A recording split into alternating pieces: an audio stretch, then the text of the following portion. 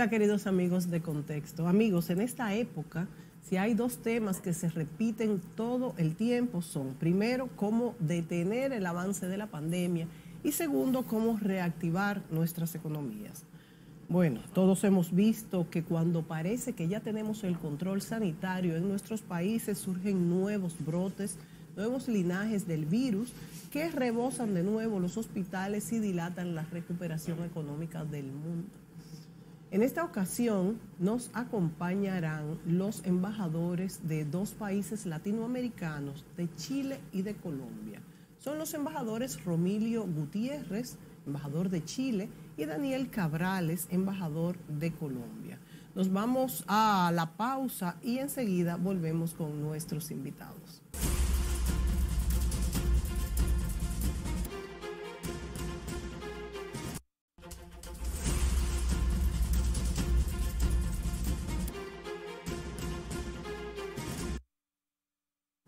Amigos, le damos la bienvenida a los embajadores Romilio, Gutiérrez, representante en nuestro país de Chile, y a Daniel Cabrales, embajador de Colombia.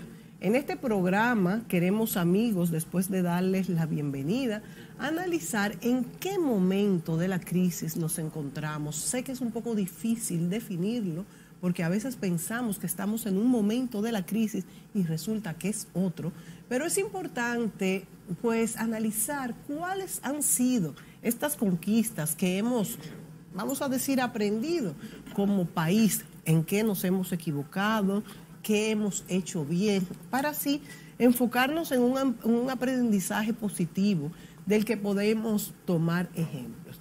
Pongo el caso de Chile, ya que tengo al embajador Romilio Gutiérrez con nosotros, que de hecho Chile muchas veces lo hemos tomado como ejemplo en, vacunación, porque indudablemente, o, por lo menos según las, noticias, los que nos llegan, hay ya muchas personas vacunadas.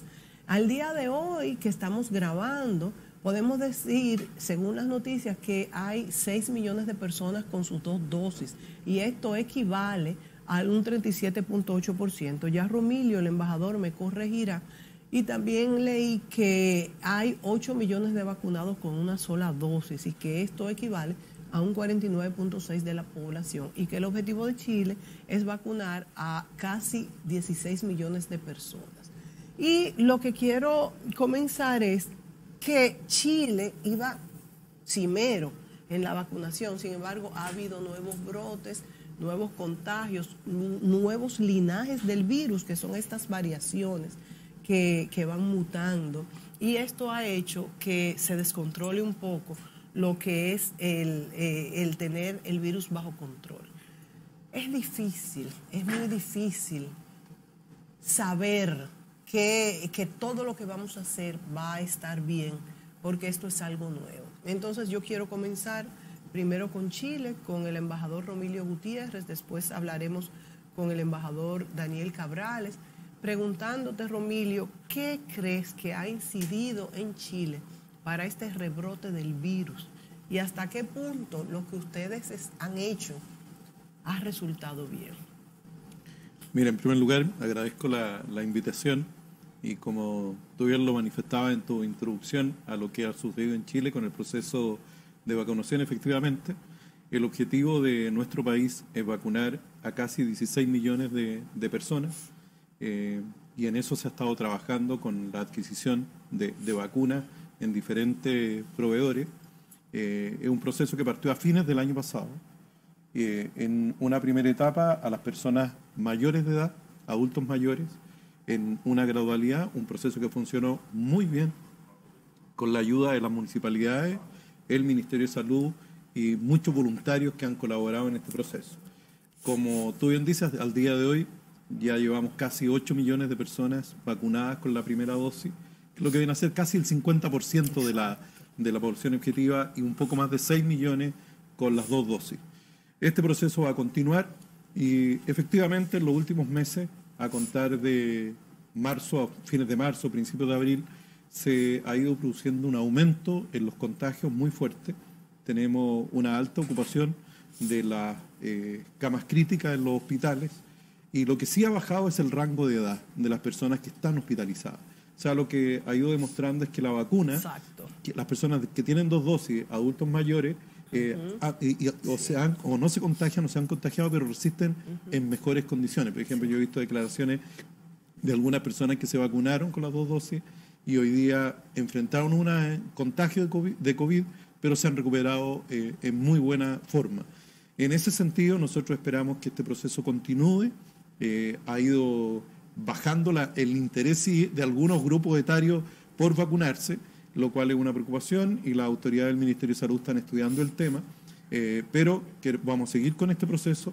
Y Chile hoy día tiene una serie de medidas, toque de queda en gran parte del país, no ha bajado el toque, digo, ha, flexibilizado, pero no lo ha quitado en ningún momento. No se ha quitado Esto ha ayudado. Ahora tenemos cuarentena en gran parte del país. El día de ayer se eh, liberaron 16 comunas de esta cuarentena. Cuarentena significa que yo no puedo salir de mi casa sin permiso. Y el permiso es dos veces a la semana para ir al supermercado o a una y todavía lo tienen. Y todavía se tiene y están cerradas las fronteras parcialmente. Eso es importante, que están cerradas las fronteras de, de, las provincias, ¿verdad?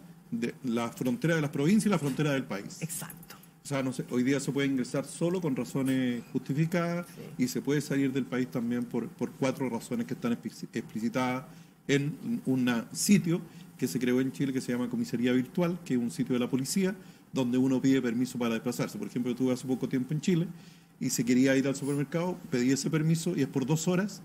Y cuando tú vas a llegar al supermercado, te lo piden al ingreso, tu autorización, que la llevas en el celular y ahí tú puedes hacer tus, tus trámites. La verdad es que se necesita una organización bien grande y Chile lo ha logrado. Antes de darle paso a Daniel para que nos explique cuál es la situación en Colombia. Me gustaría, ya que el embajador Romilio Gutiérrez ha tocado el punto de que los adultos mayores ya no se están contagiando tanto o en su defecto si se contagian ha sido menor el efecto del COVID. ¿Cuáles son las vacunas que ha utilizado Chile? Chile está con Pfizer, Sinovac y en esta semana se espera la llegada de, otro contrato que Chile tenía y eso va a permitir tener una mayor eh, eh, abanico de, vacunas. Eh, y se está negociando con Rusia el, suministro de una nueva vacuna, creo que se llama Sputnik. Sputnik. Ah, y Chile tiene una, más de 36 millones de vacunas compradas ah. para vacunar a toda la población y las autoridades han seguido en este proceso para tener más disponibles. Seguramente lo que va a acelerar un poco el proceso si empiezan a llegar las vacunas que son de una sola dosis. Eso podría permitir vacunar más rápido a, la, población objetivo. Ahora bien, no hay todavía ningún estudio, Romilio, sobre eh, qué tipo de vacunas han prevenido más de las personas que le ha dado COVID después de estar vacunado. todavía es muy Chile le hizo un estudio de efectividad. E incluso estamos viendo la posibilidad de colaborar con República Dominicana para hacer también un estudio de efectividad de la vacuna y eso va permitiendo ir monitoreando el, efecto que tiene cada una. También se ha estado discutiendo la, si es posible eh, vacunar con una tercera dosis, eh, pero no hay acuerdo entre los, científicos. Uno aquí lo único que hace es escuchar lo que cuentan, lo, lo que dicen los expertos, también a veces difieren un poquito, pero creo que, la capacidad que han demostrado los equipos de salud en nuestros países hay que reconocerlo. Yo, yo quiero ah, no, olvidarme de eso, Mónica. Creo que eh, la gente que trabaja en salud primaria, en los hospitales, en la red de investigación, en los laboratorios científicos, ha trabajado sin descanso para encontrar primero cómo enfrentar el COVID, pero también para atender a nuestros pacientes. Sí, hay que reconocer esto siempre, la verdad es, hay que decirla. Yo quiero darle la oportunidad a Daniel Cabrales, embajador de Colombia. Daniel, hablemos un poco de esta, esta línea tan, tan, tan, tan difícil de manejar entre lo que es cuarentena, o sea, tener a las personas eh, para que no salgan a la calle, y lo que es la reactivación de la economía. Sabemos que República Dominicana, Chile y Colombia son de los países que proyectan un crecimiento mayor. Fue lejos de Panamá, que se dice que crecerá este año un 12%, es mucho. Pero dicen que la República Dominicana crecerá un 4.5%, que Colombia crecerá un 5.1%, que es mucho, y Chile un 6.1%, o sea que estamos dentro de los países que más creceremos. ¿cómo ha manejado Colombia y cómo ha evaluado este manejo entre lo que es la cuarentena para que no siga la propagación del virus y lo que es la no dejar morir a nuestras economías, que como hemos visto, aunque vamos a crecer, todavía tenemos un pedacito, un porcentaje negativo de lo que crecimos el año pasado. Daniel, ¿qué nos dice? Bueno, sin duda alguna, la cuarentena en cualquier parte va a, mitigar o a disminuir eh, la reactivación. Entre más tengamos la dificultad de rebrotes en nuestra población, obviamente que eso va directamente a, a golpear la reactivación económica en nuestros países. Colombia está implementando en este momento una cantidad de medidas para reactivar la economía.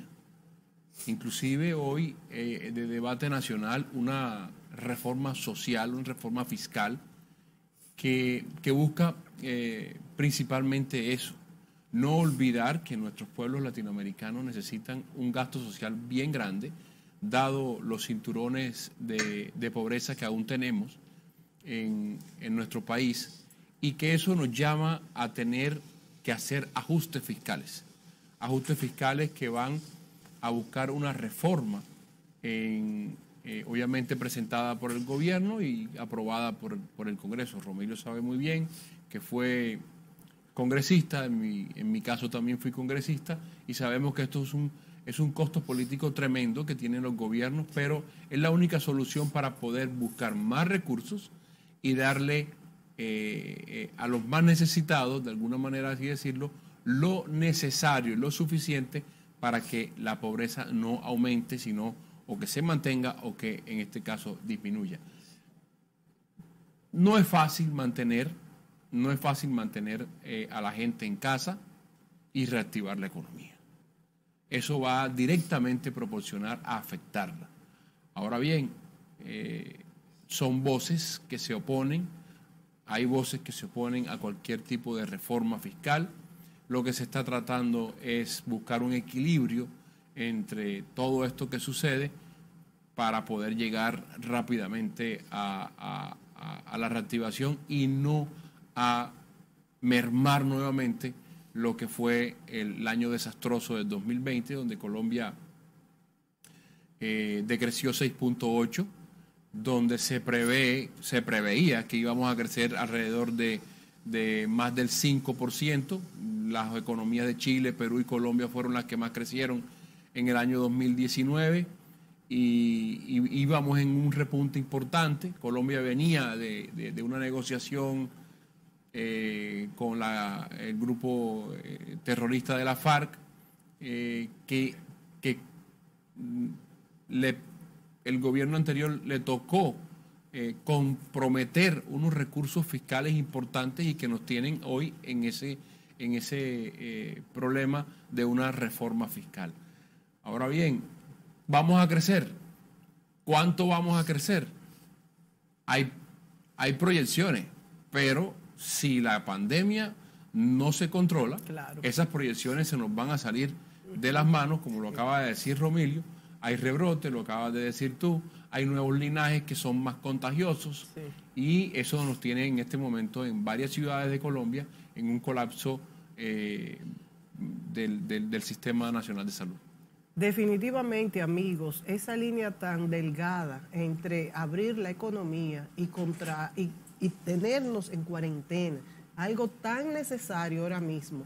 Esto, y por eso menciono el caso de Chile, no sé si en Colombia también ha sido, Daniel, sobre esto de aislar a las comunidades, las ciudades, sea que estén libres de COVID en un momento dado o que estén muy, muy eh, contagiadas, porque esto permite que mantener esta población eh, con, su, con sus características. O sea, si están contagiadas, pues curarlas, si están libres, que no entren.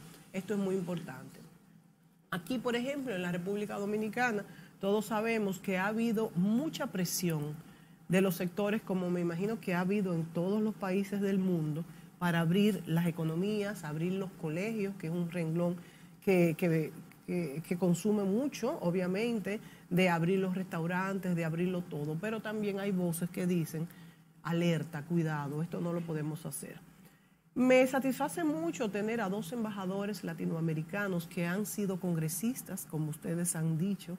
El congresista tiene un conocimiento muy fino de lo que es no solamente las legislaturas, sino el comportamiento y lo que quieren los ciudadanos. He visto, por ejemplo, en el caso de Chile, que hay una ley que ha sido aprobada en parte de un impuesto a los super ricos y este, este es un término que hemos comenzado a escuchar, esto de los súper ricos, porque ya cualquier persona de clase media alta puede tener, bueno, hablamos de pesos, ¿verdad? No de dólares, pero pueden tener millones de pesos que son los de cada país, eh, varían, no es lo mismo el peso dominicano que el peso chileno o el peso colombiano, pero eh, se habla de millones de, de, los pesos de nosotros. Ya cuando son millones de dólares y muchos, entonces se habla de estos súper ricos. Y realmente, muchas veces, estos súper ricos han recibido una entrada extra en vez de haber perdido durante la pandemia, por lo que yo me encontraría muy justo de que estas personas pagaran un impuesto eh, extraordinario.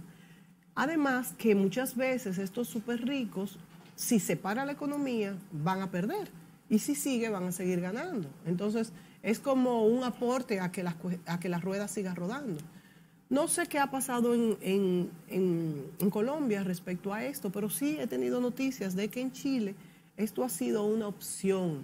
Yo quisiera que el embajador Romilio nos hablara de esto y también los dos, tanto Daniel Cabrales como Romilio Gutiérrez, me hable sobre aquello de repartir un porcentaje de los fondos de pensiones. Sé que en Chile se ha repartido un 10% y un segundo 10%, que sería un tercer 10%.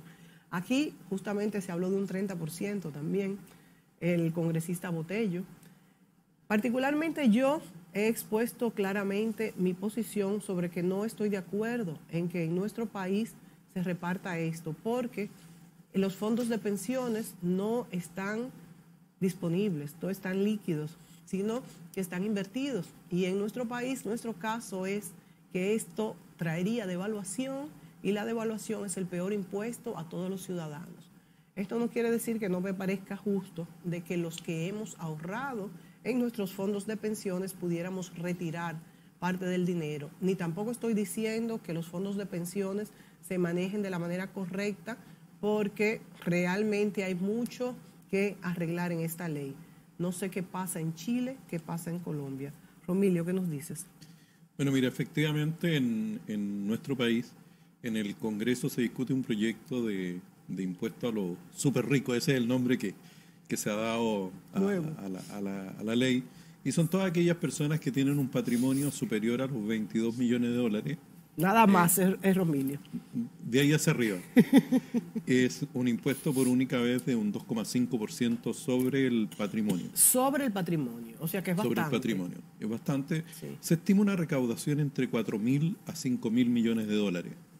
Esa, esa es la estimación de, esta recaudación. Eh, se ha discutido, hay personas que están a favor, hay personas que lo quieren perfeccionar. Eh, y en general yo creo lo que está sucediendo en muchos países es la discusión de una reforma tributaria para financiar eh, el mayor gasto que, ha demandado el COVID para reactivar la economía, pero que esa, esa reforma tributaria tampoco afecte el emprendimiento.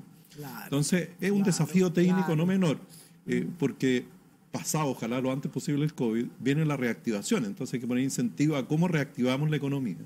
Y creo que ahí el desafío de la autoridad es encontrar ese justo medio entre la recaudación que necesita el Estado para financiar el gasto que tiene hoy día, sobre todo, como decía Daniel, en la ayuda social a las personas que han perdido el trabajo, para que las personas no caigan bajo la línea de la pobreza, que las personas tengan la ayuda necesaria para poder mantener a su familia en este, en este periodo, porque mucha gente ha perdido su trabajo y creo que ese es uno de los principales problemas que hoy día enfrentamos cada uno de nuestros países y ahí se están tomando medidas para reactivar. Y la otra, la otra ley que, se ha discutido, que llevamos en la tercera, eh, es el retiro, como tú bien decías, de fondos de la AFP.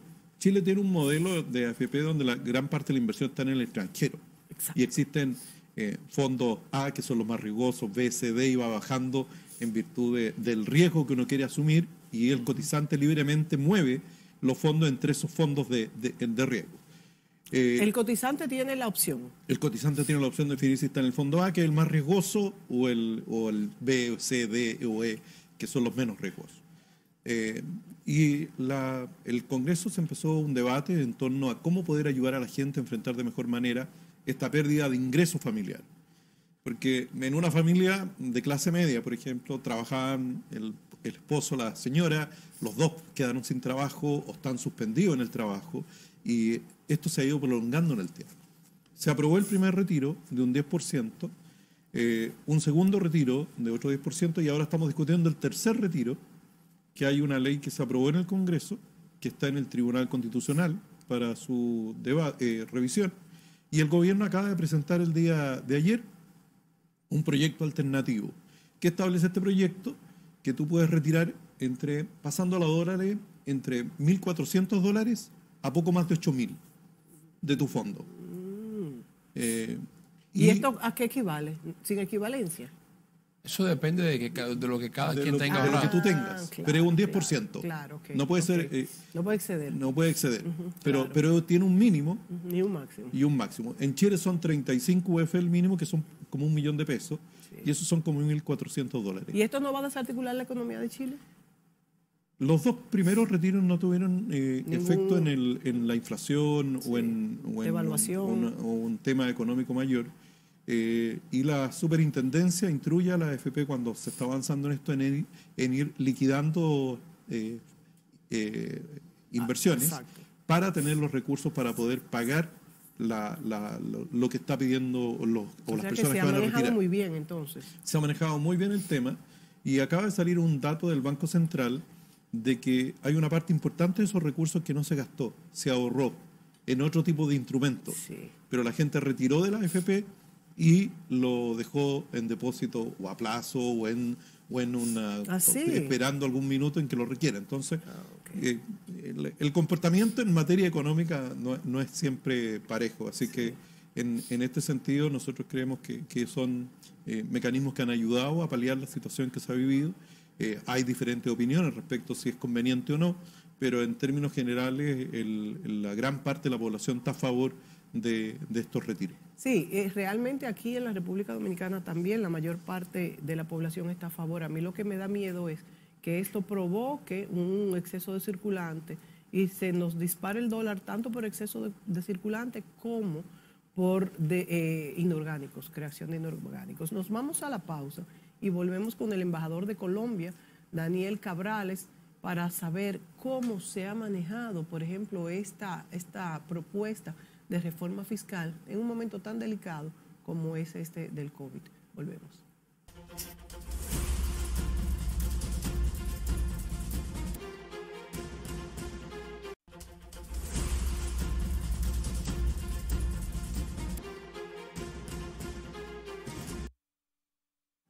Nos acompañan en esta ocasión los embajadores de Colombia, el señor Daniel Cabrales y el embajador de Chile, Romilio Gutiérrez.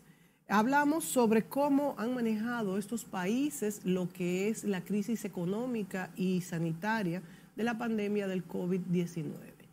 Daniel, en este segmento me gustaría que tú nos hablaras de cómo han manejado la economía en cuanto a esos recursos de ayudas sociales que son necesarios para dárselos, dárselos a aquellas familias que han perdido empleos, también háblame un poco de la, economía, tanto informal como formal, del emprendurismo, de cómo no castigar a estas personas con una reforma fiscal y las personas que no figuran en lo que es la, la formalidad, cómo ayudarlas, porque aquí en la República Dominicana también existe este problema.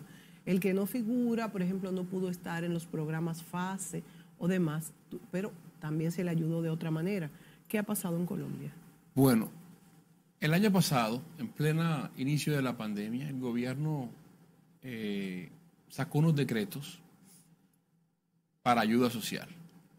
Subsidios, eh, inclusive descuentos o, algún porcentaje para empleados, sobre todo empleados del Estado, que ganaran más de un X número de, de, pesos colombianos, yo no sé cómo, bueno, o de dólares, por así, por llamarlo aquí, iban a contribuir con algo, eso se cayó en la Corte Constitucional porque por, X o Y motivo de razones no fue eh, exequible, eh, más sin embargo el gobierno ayudó a pagar la nómina de muchas empresas en Colombia para que, se vieron obligados a parar por, por la pandemia.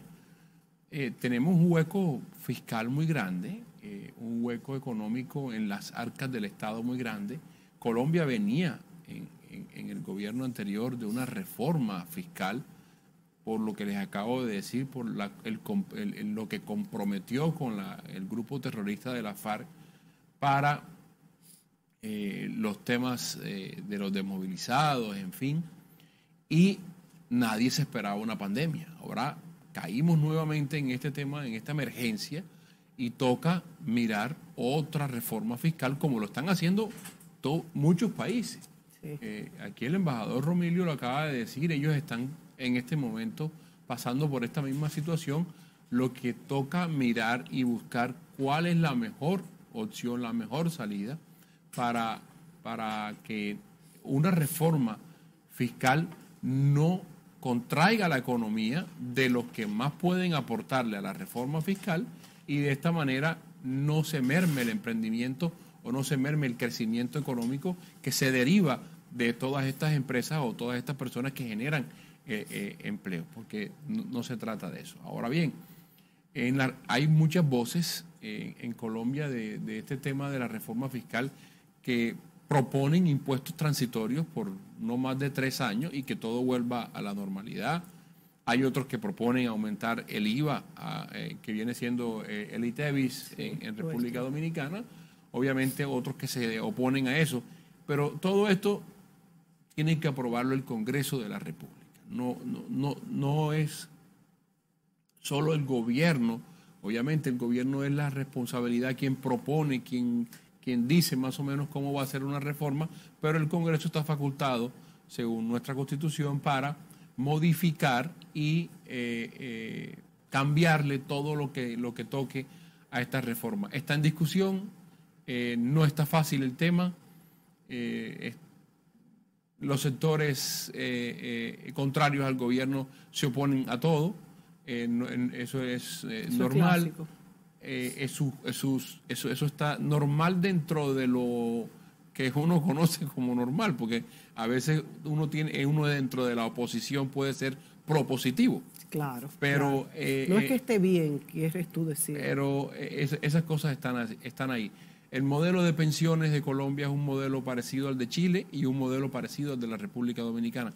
Tenemos, eh, eh, nosotros estos tres países, lo hablo, de pronto hay otros países que también lo tienen, pero tenemos ese modelo parecido. Colombia no ha tocado eh, el tema de los fondos. de pronto hay voces que, que, lo, que, lo, que lo llaman, que lo, lo, piden, pero hasta el momento eso no, no, no se ha tocado.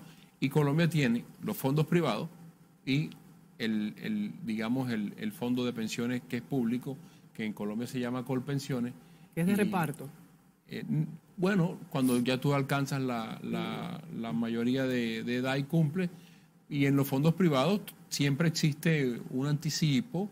Eh, yo no sé si en la ley chilena también lo permite, inclusive antes de tramitar cualquier tipo de ley, eh, uno, eh, un, ciudadano puede eh, ir al fondo y negociar un tipo de, de, lo que de lo de exactamente. Cuando Romelio decía la plata de cada ciudadano está en A, B, C, D, E, depende, porque si tú estás en A está más riesgoso, pero te gana más intereses esa plata que tienes ahí.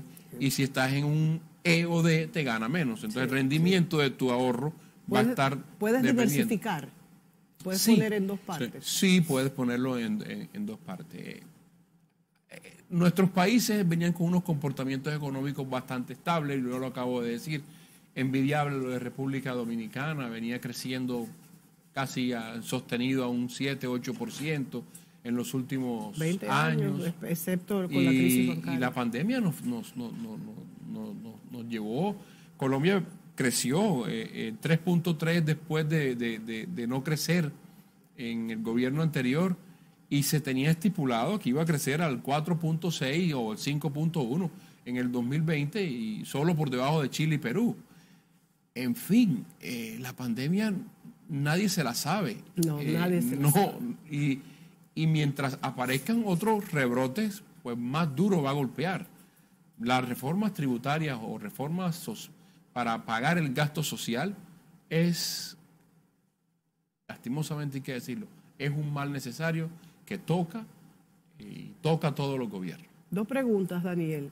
Primero, en Colombia cuando se han puesto impuestos transitorios, se han quitado al, al cumplirse el plazo de tiempo que han anunciado. Y segundo, ¿cuál es el porcentaje de pago por el servicio de la deuda respecto a lo que recibe anual el país? Mira, el impuesto hay un dicho, nosotros los congresistas siempre, eh, en ese momento, cuando éramos congresistas, nos decían, van a poner un impuesto transitorio y eso nunca va a ser transitorio. Eso siempre se va a quedar ahí. Y han sido transitorios para el objeto de los que fue. Exacto. Pero, como dicen los arquitectos, ya que... ya que está puesto. Exacto. Entonces, mira, este sector también necesita. Exacto. Mira que nos inventamos entonces este nuevo subsidio. ¿Verdad, Romilio? Porque aquí pasa igual. Claro, entonces el impuesto, nosotros nos tocó eh, hace mucho tiempo eh, el impuesto a la seguridad para poder combatir a los terroristas en Colombia y todo esto que había. Después se llamó el impuesto a patrimonio. Mm. Y porque entonces ya era un gasto social para el, desplazado y este y lo otro. Ahora ellos están apenas, bueno, bueno que, que eso pase por, por, por Chile, que ahora es que ellos están pensando en ese impuesto al patrimonio, pero ya Colombia venía con ese impuesto al patrimonio. Entonces, para nosotros es un tema bastante complicado. El gobierno anterior... ¿Cuánto paga el impuesto al patrimonio allá? Bueno, estamos hablando de un veintipico por ciento, es alto, es bastante, es un tema, no, perdón, eh, el, impuesto de renta está ah, hoy al 30, se prevé en, propuesta eh, al subirlo al 33, pero bajarlo dentro de tres años nuevamente. No sabemos cuánto, cuánto va a pasar. Eh, eso ha sido unos, unos problemas grandes. Cuando yo estaba en el Senado, recuerdo que, que entre todos los, las sumatorias de todos los impuestos que, que había, se decía que por cada 100 pesos, 72 estaban comprometidos. Wow. Eh, eh, es una carga eh, bastante alta que ya venía y esto es un tema que nos va a obligar obviamente a, hacer comidilla de, los que están del otro lado del bando. Pero, por ponerles un ejemplo, la deuda externa en Colombia, que, que tú me comentaste de algo de esto. Sí. Colombia ha sido buen pagador y en el gobierno del presidente Santos la toma con el 46%, 43% comprometido y eh, él no lo llevó, lo elevó, perdón, a un 24 lo llevó a un 43. Colombia llegó a, tener una deuda externa de casi, ahora actual, de casi 114 eh, mil eh, millones de dólares. Entonces, es un tema bastante complicado de donde, ya veníamos muy comprometidos ahora a lo que nos viene eh, el tema de, eh, de, la pandemia.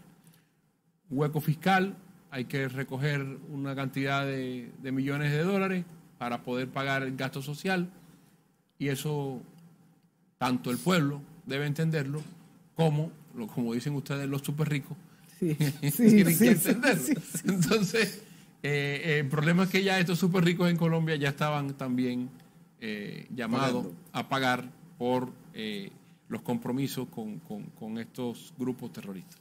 Eh, Romilio, en el caso tuyo, y digo tuyo porque tu país es Chile, ya Chile venía presionada, el país de Chile, un país cimero en la economía latinoamericana, un país relativamente organizado, un país que aunque las FP no es que funcionan de maravilla para nada, pero fue el primero en montar este sistema, que el hecho de ser los primeros también nos da privilegios, claro que todo eso hay que revisarlo, de hecho, esto es parte del problema, pero vimos grandes disturbios antes de la pandemia, vimos las quemas de las estaciones de tren, vimos una pérdida del patrimonio tremendo.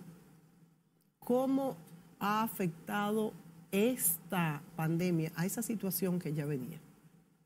Bueno, efectivamente, como eh, tuvimos un 18 de octubre con un estallido social, mucha protesta en la, en la calle, donde la gente eh, demandaba mejores condiciones de vida y una suma de problemas, desde el monto de las pensiones, eh, las condiciones de trabajo, el acceso a un trabajo de calidad, una mejor salud, una mejor educación. Eh, y en ese sentido, los diversos sectores respondieron a este, a este llamado. Y por eso es que, por ejemplo, hoy día en, en Chile se, está, se va a elegir próximamente Ahora en mayo tenemos la elección para elegir a los constituyentes que van a ser los que van a redactar una nueva constitución, que en el plazo máximo de un año debe ser sometida a una consulta ciudadana. Eh, y eso ya es una respuesta a, esta demanda social de la gente. Pero también se, planteaba el tema de las pensiones y el gobierno del presidente Piñera ha presentado un proyecto de ley que está en el Congreso que se lleva discutiendo varios meses, eh, cómo reformar nuestro sistema de pensiones. Porque al final la gente dice, mira, ¿con cuánto me voy a jubilar? Y ahí está el problema. Claro. Que el monto no es Pasa suficiente. aquí también. Y en, y en ese sentido, muchos países han estado debatiendo. En Europa, países pasaron de edad, subieron la edad de jubilación, eh, han visto mecanismos para incrementar los fondos disponibles. Y en, en, Chile se discute cómo aumentar, eh, hoy día cotizamos nosotros el 10% para nuestro fondo de pensiones. La propuesta del gobierno es subir en seis puntos a un 16. Y el debate es dónde se van esos seis puntos. Unos plantean que sea un fondo solidario, eh, a un fondo común y que ayude a mejorar todas las pensiones, especialmente a la gente que tiene menores ingresos. Y otros plantean que sea la mitad, la mitad al fondo de pensión de cada uno y el otro, el, el, dos otros tres puntos al fondo solidario. Y esperamos que muy pronto podamos tener un acuerdo político que permita resolver este problema para las personas que hoy día están jubiladas y reciben pensiones bajas y se puedan ¿Estarían incluidas? Estarían incluidas. Y el gobierno ha tomado una serie de medidas en los últimos años, o sea, desde el, desde el gobierno anterior de la presidenta Bachelet, el presidente Piñera también, para ir incrementando estas pensiones, aumentando la ayuda a las personas que están jubiladas, de tal manera de que los ingresos que perciben les permitan tener un determinado nivel de vida. En ese sentido, nosotros creemos que el sector político eh, tiene un desafío importante y así lo han manifestado los líderes de los diferentes eh, partidos. También tenemos este año elecciones presidenciales, por lo tanto seguramente todas estas demandas sociales van a ser eh, un elemento en el debate político. O sea que ya esta reforma constitucional, Romilio, ya será para el nuevo presidente. Va a ser para el nuevo presidente. Y tiene un, un requisito que es una consulta de salida. O sea, lo tiene que aprobar la ciudadanía esta nueva constitución que van a redactar los, constituyentes. Y como te decía, el plazo es de nueve meses, prorrogable por tres, o sea, máximo un año, para redactar una nueva constitución. Tres puntos básicos que son reclamados por los chilenos para esta nueva constitución. Yo creo que el tema está en, una mejor calidad de vida, con educación, salud, acceso a mejores oportunidades de trabajo. Eh, hay muchos que han planteado el tema de la propiedad, el, resolver el tema entre los bienes públicos, y los bienes privados. Eh, y, Chile, por ejemplo, un país minero, gracias al alto precio del cobre que tenemos hoy día, también tenemos mayores ingresos, lo que ha permitido ir enfrentando de mejor manera esta, esta crisis económica. Y creo que el, el, gran desafío está entre los derechos y deberes. Por ahí vamos a, a avanzar. Pero es un trabajo que van a tener que hacer los constituyentes y escuchando a la ciudadanía y respondiendo a esa demanda. Creo que sería sumamente interesante hacer un programa, Romilio, ya concentrándonos en cuáles son los reclamos que está haciendo la ciudadanía y lo que los políticos y los, o sea, los distintos partidos y también los legisladores están proponiendo. Eso es algo que, que podemos vernos en ese espejo, todos los países eh, latinoamericanos, eh, para, para ver qué podemos nosotros mejorar en cada uno de nuestros países. Daniel, ¿cuáles son las reclamas mayores que están haciendo en Colombia? Sabemos que también Colombia, como tú muy bien has señalado, viene de, de un problema terrible con el narcotráfico, con las guerrillas, y apenas el país estaba pues saliendo de esto y viene la pandemia. ¿Cuáles son los reclamos de la población en este caso que vienen desde antes? Mira, eh, sin duda alguna, Colombia venía repuntando, como te lo decía, con respecto al año 2019 con comparación al 2018.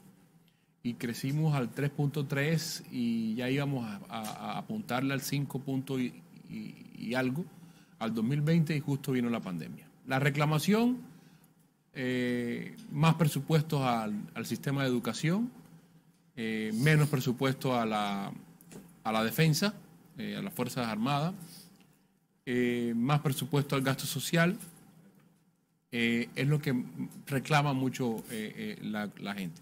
Pero eso también está influenciado por en Colombia la oposición que hoy, hoy, abril 2021, están convocando a una marcha en varias ciudades de Colombia sin tener en cuenta que hay una pandemia, lo que va a, matar a, miles de colombianos. Entonces, uno tiene que ser responsable, por eso yo lo decía hace un, tiempo, aquí hace unos minutos, que uno puede estar en contra de, de ciertas opciones que proponga el gobierno y ser opositor propositivo. Yo fui opositor en el, en, el pasado gobierno, cuando fue congresista, pero no fui opositor irresponsable, fui un opositor propositivo y nosotros hoy somos gobierno porque Colombia premió de alguna manera la, la oposición propositiva que hicimos nosotros. pensábamos diferente al gobierno y proponíamos algo pero que no iba en contra de los colombianos. Hoy, hoy lo que están buscando es que la gente salga a la calle eh, eh, que se pueda contagiar en, las calles de Colombia. Eh, imagínense, Romilio, lo que hubiese podido pasar en las marchas de hace año y algo en Chile en plena pandemia. o sea, ahí está muy, muy, muy, muy difícil. Ahora, yo soy un convencido de que esto también tiene un, un producto de desestabilidad de la región, financiado en parte por el narcotráfico nosotros tenemos desafortunadamente un gobierno a nuestro lado, un narcoestado como Venezuela que no coopera con Colombia hace 25 años eh, en temas de, narcotráfico.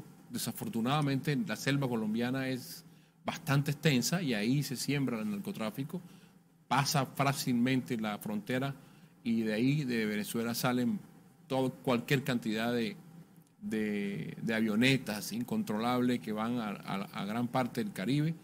Eh, algo que hay que resaltar aquí en, esta lucha, eh, la República Dominicana eh, ha, aumentado su, su, cooperación con Colombia, pero, pero esta desestabilidad de la región, justa en, algunas, en algunos términos, pero injusta por quienes la promueven de esta manera. De nada sirve hoy estar diciendo a la gente que salga a marchar por una reforma tributaria a veces desinformada, a veces desinformada, simplemente para que la gente salga a la calle en plena pandemia, cuando el contagio con estos nuevos linajes es todavía más fuerte. estos nuevos linajes nos llaman a decir que ni siquiera a veces los tapabocas funcionan. Este es un tema muy complicado. Ni siquiera las vacunas porque están hechas para otro. Colombia, sí, no, eso no está. No, no, se sabe. No, se sabe. Científicamente uno no puede decir que las vacunas no van a funcionar con los nuevos linajes porque no está comprobado. Al parecer sí. Al parecer sí. Hay claro. unas Muy personas que dicen que, que dicen que no, pero, pero respetamos su, su punto su punto de vista, no lo compartimos, porque la verdad es que la vacuna Y sí siempre se ha dicho que la vacuna será anual, que no es que va a funcionar para toda la vida. Sí funciona para el COVID y, en eso estamos. Colombia a corte del 31 de mayo debe tener 14 millones de dosis para 7 millones de, de colombianos. Colombia ha dicho que va a adquirir 35 para 35 millones de, de colombianos, vacunar 35 millones de colombianos, alcanzando una, una inmunidad de rebaño. Colombia es un país de 50 millones de habitantes. Que hay que poner un refuerzo dentro de un año, tampoco está, está aprobado. Lo acabamos de mirar aquí, lo acaban de discutir ustedes dos Sí, al principio. sí. Eh, Pfizer dijo que, que- que de pronto sí. Mm. Nosotros estamos usando las mismas vacunas que, usa, que está usando Chile. Eh, la, la Pfizer, la, la Sinovac también la están usando aquí en, en- República en República Dominicana. Dominicana. Lo que sí queremos es que llegue más rápido. Necesitamos. Los envíos están más lentos y, y- y eso es lo que necesitamos. ¿Cómo están trabajando las cuarentenas en, en Colombia? En Colombia, cada alcalde, cada autoridad municipal, de acuerdo a su situación, está manejando eh, el tema. Para unos es bien visto, para otros es mal visto. Yo aplaudo y nosotros tenemos que reconocer el manejo de la pandemia en la República Dominicana. ¿Por qué? Porque tienen una letalidad de 1.3. Sí. Nuestro país la tiene casi en el 3 Sí. tienen un- una, un- una positividad de contagio alrededor del 8 o 9%. Hoy acabo de ver las cifras de Colombia y estamos en un 25%. Entonces, a veces dejarle eh, eh, en mano de tantas, Colombia, Colombia tiene 30 ciudades capitales, 1.170 municipios. Y imagínense que cada, cada, cada uno de ellos es una, es una autoridad y dependiendo de que cada gobernador o cada alcalde en Colombia tome la decisión. Eso pasó también en Estados Unidos. Es que cuando hay tantas manos eh, tomando decisiones es muy difícil. Bueno, yo quiero que estos últimos minutos que nos quedan, ¿cuántos nos quedan? Como unos 10 minutos. Vamos a hablar un poco de la situación política en la región. ¿Qué pasa con Chile? Nos quedan cinco nada más. Oh, pero qué rápido se va el tiempo. ¿Qué está pasando en eh, la situación política en la región? Y esto que tú señalabas, Daniel, un poco como las izquierdas están promoviendo cosas y la derecha promueve otra cosa. Romilio, ¿cuál es tu apreciación?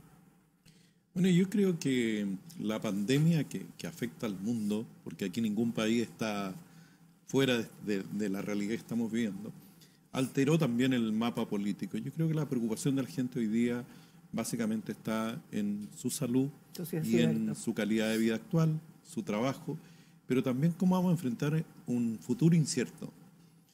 Y ahí hay un desafío a, a los diferentes sectores políticos de cuáles son aquellas propuestas que pueden recoger de mejor manera estas inquietudes que tiene la población y este, y este alto nivel de incertidumbre.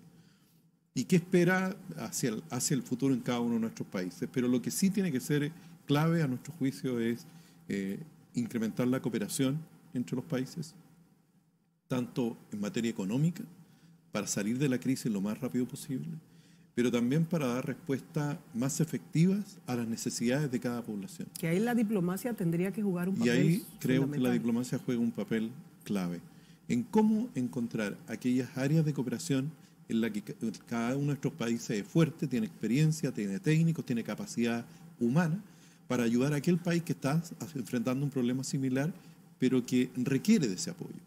Y en ese sentido creo que tenemos un gran desafío por delante. Nosotros hemos estado trabajando en esta dirección. Nuestro canciller, Andrea Alamán, ha planteado esta, esta necesidad de que cada uno identifique aquellos puntos donde podemos colaborar como país para traspasar la experiencia de Chile, pero también para recoger, por ejemplo, lo que se hace bien en República Dominicana y nos puede servir a nosotros Exacto. para implementarlo en nuestro país y poder sortear los problemas que estamos enfrentando. Así que yo creo que en términos políticos vamos a enfrentar un nuevo escenario, una nueva realidad, con nu- un nuevos problemas o, o una manera nueva de enfrentar esos, esos problemas antiguos que tienen la sociedad, la nuestras sociedades, pero también ver cómo combatimos la pobreza que va a aumentar. Según todos los estudios, vamos a tener un mayor nivel de pobreza y creo que ahí va a estar el primer desafío de las autoridades políticas de cómo hacer frente para recuperar el crecimiento rápido y sacar a esa gente de esas condiciones de vida. O sea, Romilio, y te hago la pregunta a ti, en este caso, Daniel, ¿tú crees que ahora los candidatos, los partidos van a tener que hacer propuestas más, más claras? Porque generalmente en nuestros países latinoamericanos sufrimos de que los nuevos candidatos traen un discurso muy bello y al final se desdibuja, sea porque se encontró una situación muy difícil, porque se, les olvidó, o lo que fuese. ¿Qué tú crees realmente eh, se esforzarán los políticos para tener menos corrupción, por ser más efectivos, por no, bueno, tú mismo acabas de decir, y pasó en Chile también, como multitudes se arrastraron a una protesta que yo no digo que no haya sido justa, pero eh, tampoco digo que quizás no haya sido necesario, porque eh, hay veces que hay que protestar duramente, pero caramba, ¿cuánto se perdió? ¿Cuánto se perdió? A mí me duele cuando yo veo estas cosas en nuestros países hermanos, porque yo digo, bueno, ¿y hasta qué punto personas agolpeadas, otros heridos, algunas víctimas mortales, el dinero de los pueblos eh, desaparecido. ¿Qué crees al respecto? Yo siendo senador convoqué a marchas, pero responsables. Nosotros caminamos, protestamos. No pintamos una pared, un mural. No atentamos contra la infraestructura del, Estado, no quemamos nada. Pero las marchas también se van de las manos, ¿es posible esto? Pero las, yo, ahí está el detalle del liderazgo de quien la convoca lo que sucedió en, algunos países y en mi país eh, el año pasado fue eh, inaudito. Quemar la infraestructura del Estado. ¿Qué culpa tiene un, bus que le presta un servicio social al, ciudadano para quemar un bus? En fin, eh, sin duda alguna otra vez el multilateralismo está de moda que estuvo, estuvo comprometido, su nombre estuvo comprometido años, años atrás, pero hoy otra vez toma una gran fuerza. Yo creo y comparto con Romilio que eh, estos mecanismos eh, deben ser más explotados ahora en, la pandemia y se debe buscar unos acuerdos multilaterales para llevar propuestas serias en los gobiernos y en nuestra región. Hay mucha desinformación eh, propiciada por líderes algunos líderes de algunos sectores que son falsas. Y hoy con las redes sociales eso, un, algo falso es lo que más viral se hace. Y no caigamos en la, en la desinformación en los países nuestros que, como dice, como dice nuestro viejo refrán, el palo no está para cuchara. Bueno, ya lo creo que no. Gracias a los embajadores de Chile y de Colombia, a Romilio y a Daniel Cabrales, Romilio Gutiérrez, bueno, mi tocayo de apellido. Vamos a ver. Gracias a ustedes, amigos, por sintonizarnos y será hasta la próxima. Analizarlo todo es, yo creo que, la tarea que nos deja la pandemia. Hasta la próxima.